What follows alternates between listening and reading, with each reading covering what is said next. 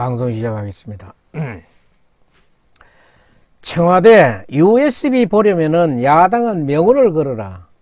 뭐 명운을 걸만한 게 되냐?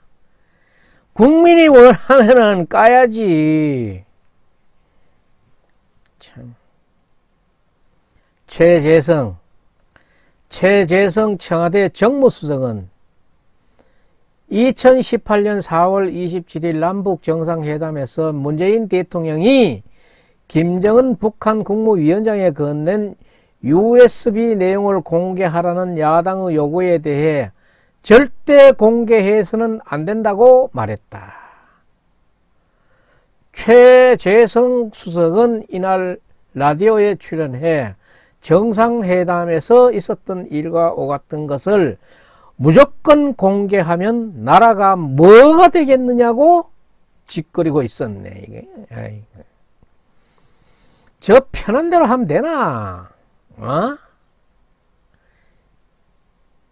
이낙연 음, 더불어민주당 대표도 이날 국회 교섭단체 대표연설에서 기억하는 한 정상회담에서 북한 원전은 거론되지 않았고 USB에도 관련 언급은 전혀 없다고 했다. 이런 새빨간 거짓말을 했어요.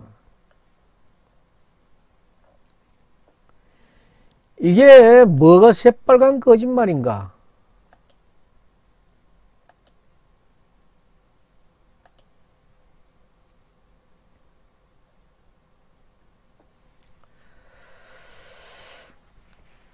2월 1일 날 산업자원부 장관이 저쪽에 공무원이 대, 산업자원부 대변인을 통해서 공개했잖아요. 세계안. 공개했는데 뭐.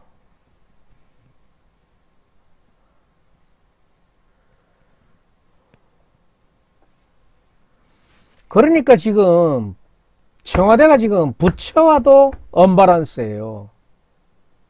지금 정신이 없는 거야. 지금 날아오는 화살이 몇 개인지도 모르고 어, 빗발 체질이 나, 날아오니까 어느 걸 피해야 될지도 몰라. 이러다 보면 비명에 가는 거지.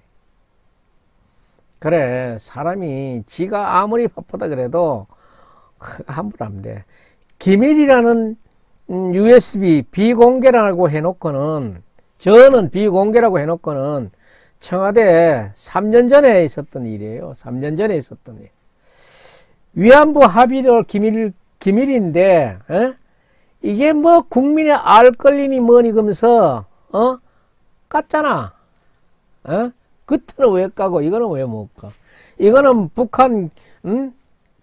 김, 김정은이 거에서 안 되고, 어? 일본 아베 거는 까도 된다, 이 말인가?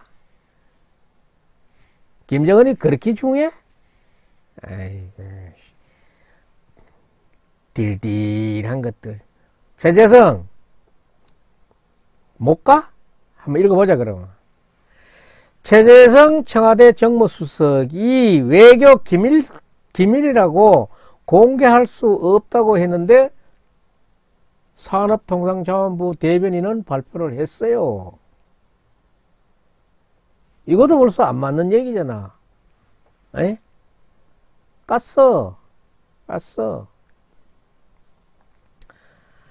문재인 정부가 2017년 외교부 장관 산을 출범시킨 위안부 합의 검증 테스, 테스크포스의 판단에 달렸다고 했어요.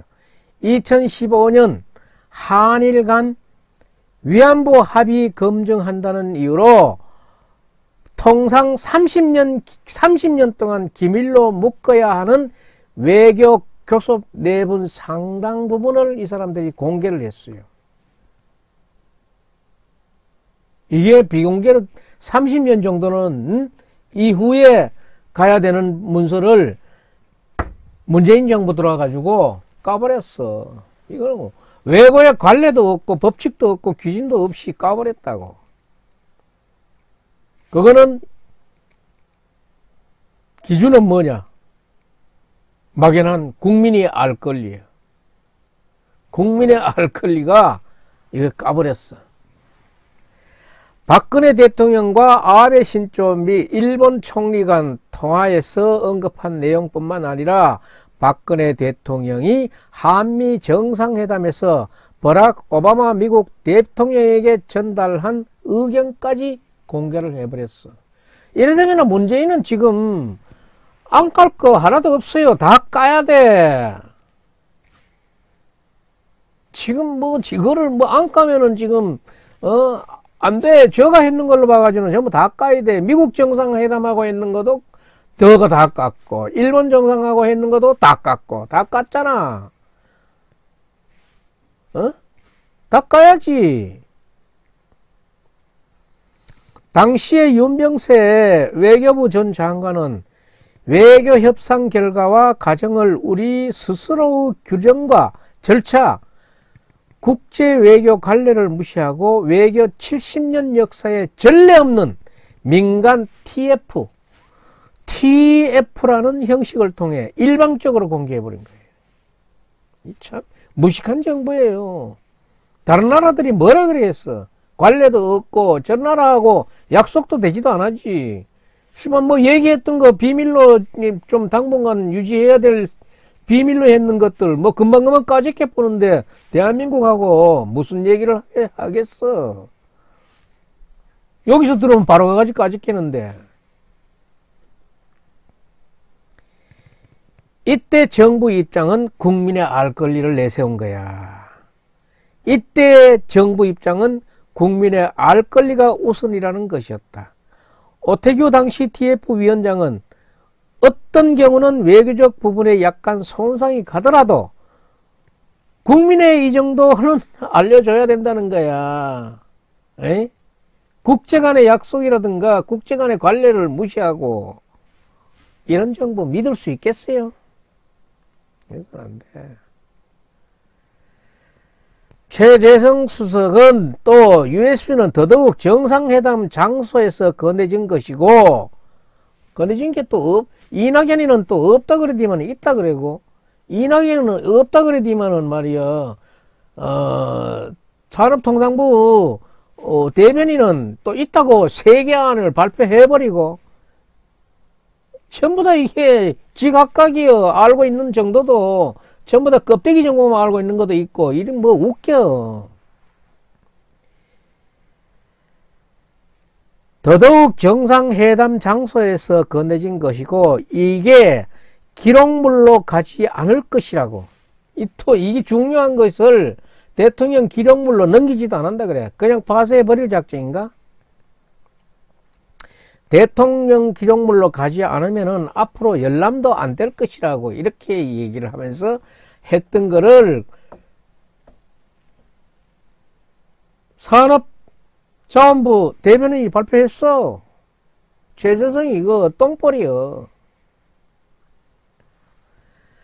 정상회담에서 준 자료라 대통령 기록물로 분류되지 않을 것이라는 지령. 이런 무식한 정무수석이 청와대에 앉아 있으니까 대통령의 기록물이라 그런 거는 뭔가 하면은 대통령 직무 수행과 관련해서 대통령이나 보좌 및 자문기관 등이 생산, 접수한 기록물, 물품을 물품 등으로 이런 걸로 규정을 하고 있어요.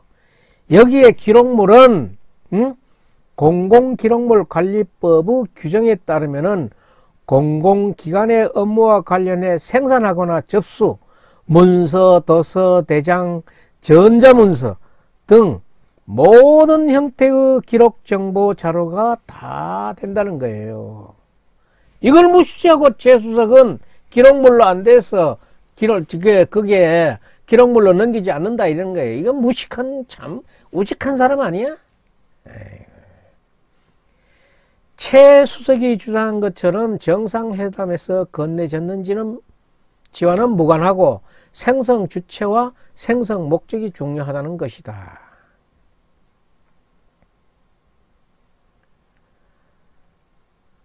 아, 청와대든 실무 부처이든 USB 내용의 원본을 갖고 있다면 법에 따라 관리되는 기록물이 맞다는 취지다. 법에 따라 해야 되는 거예요. 비밀, 비공개 등으로 지정, 비밀, 비밀도 1급, 2급, 3급 대외비 이렇게 비밀로 정해지고 비공개, 공개를 정하는 등은 그게 특정 절차에 따라 가지고 할 수 있지만은 최 수석의 주장처럼 아예 대통령 기록물이 아니라 열람하주 없다고 하는 주장과는 사실과 거리가 멀어 보인다. 이 신문이니까 아주 좋은 말을 아름답게 썼어요.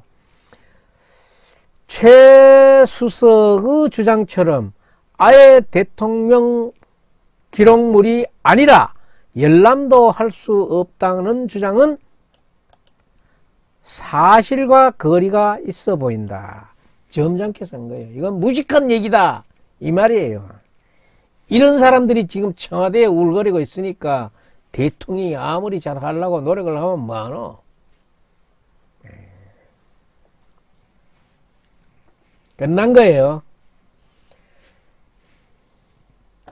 청와대는 지금 어떤 방식으로도 지금 그 공격의 화살은 피하기가 어려울 겁니다.